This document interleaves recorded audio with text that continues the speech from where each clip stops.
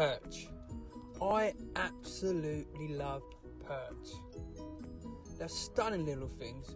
Tough, great fight. I remember years catching them on the canal.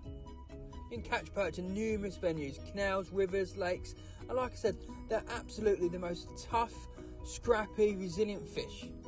Many children catch them. They're a great starter fish. They're easy to catch, they're very versatile, and they can take a lot of abuse. You can catch them on almost anything.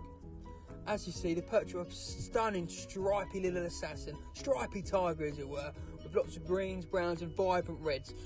They do have sharp pectoral fins, so you must take care when handling them. And look at that, belter. What a stunning specimen. Thanks from the UK anglers who sent that in. And on top of that, there's nothing more stunning than a proud perch, sitting there in all its stripes and all its glory, popping up, spelter, absolute amazing fish. He's got up to six pound. Methods: float, ledger, spinning, drop shot. There's many methods you can use to catch these little critters.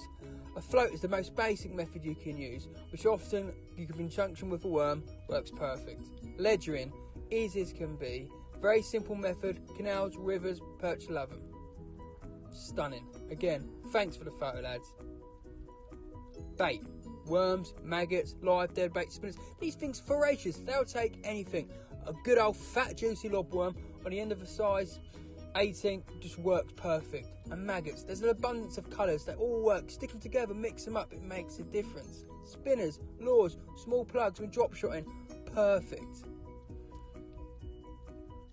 An old warrior there. Beautiful. Every fish counts, every fish counts. And look at this. Stunning. And with a bit of great photography skills, you can turn your pictures into something amazing. Thanks for watching this UK Angling small video on perch. Tight lines.